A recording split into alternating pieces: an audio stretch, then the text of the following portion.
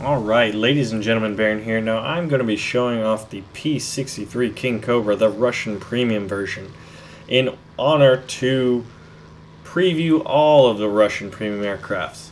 Um, now the one I just previewed recently was the PBY-5A Catalina, and I had a great time flying that out with um, Fly and NTAC, and it was just a fun, fun time.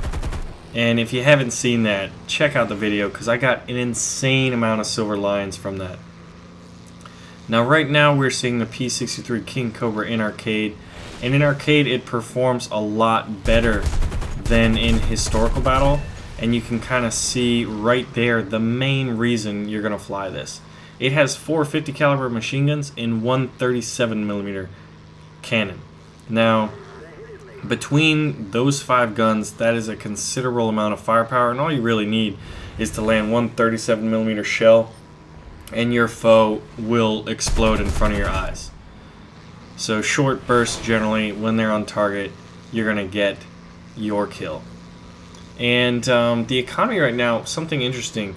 The relative performance of aircraft is kind of uh, showed off in the boosts that aircraft get. You'll notice that when looking at this currently as of 1.31 in time of filming, the arcade bonus is a 160% boost to Silver Lions, whereas in historical battle, where this aircraft is kind of outclassed as far as tier 10s are, it receives a 480% boost to Silver Lions. Now right here, I'm having this Corsair jump on me because that Corsair can outclimb me, it can outdive me, and if it's a C, it has 20 millimeter cannons, so its firepower is comparable to mine. So that is a very dangerous aircraft. Um, something interesting about this aircraft is it was designed by the Americans, but the American Air Force and American Navy did not use this aircraft. They sold it to the Russians. The Russians really were big fans of the uh, Airacobras and the King Cobras but Americans did not fly the P-63s. Um, now, in historical, for Tier 10, I feel like this aircraft is kind of outclassed in most areas. It's not the best turner, it's not the best climber, it has decent firepower, but you have to be very conservative with your 37mm ammunition, of which you only have 30 shots. So you need to be very accurate. Furthermore, this, the P63 has an M4 cannon, and when comparing it to other 37mm cannons, um, I was kind of comparing it to the Soviet NS 37mm autocannon, and there's kind of a trade-off with big cannons on fighter aircraft, and that is you can kind of uh, trade muzzle velocity um, like lower muzzle velocity means your aircraft won't be rocked as hard when you fire a shot. And um, the M4 had a lower muzzle velocity, so you can test this out for yourselves. And you should, because it's really educational and it's good for you to kind of become aware that not all 37mm cannons are created equal. Uh, the M4 drops quicker because of its lower muzzle velocity. It also has a slower rate of fire than the NS37, which you'll find in the Yak 9T. Now this was a lot of fun. I cannot wait to play P51s, so it was an honor shooting this guy down. And um, look at those 50s. The sounds of the 50s is just great. I'm a big fan, and do not underestimate the power of 50 caliber machine guns. Also, that's what a 37mm does to your wing. One hit is all you need with that cannon. That is the main reason you're going to use this. But back to the 37mm cannons. By the way, these cannons are going to be a lot more interesting, and these aircraft are going to be a lot more interesting to play in terms of targets you're going to be able to go after once the naval and ground components are uh, put into the game. Because a 37mm cannon, um, like the M4 specifically, at 500 yards will be able to pierce 25 millimeters of armor. So lighter vehicles, lighter tanks, armored cars, stuff like that, you'll be able to crack them with that 37 millimeter cannon. Furthermore, a lot of 37 millimeter uh, armed aircraft were used by the Soviets in the Black Sea as anti-shipping, where they were fighting Italians, Germans, Romanians.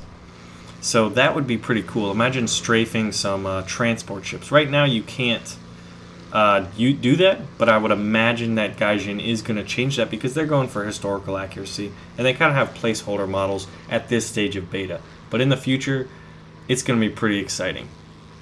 Now here I'm able to uh, kind of take down another superior aircraft, but that's mostly because of the decisions they made and the positions I had on them, not as a result of my aircraft performing better.